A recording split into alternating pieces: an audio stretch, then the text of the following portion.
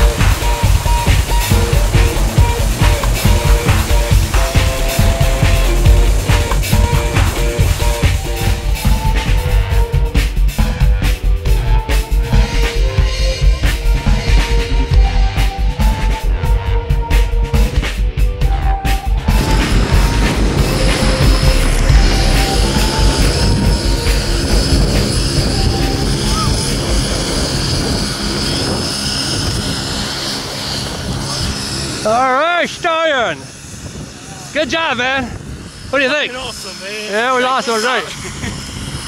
Yeah, blow out there? Uh, I don't know what, how it happened. Yeah, 120 mile an hour does a lot of weird things to your clothing.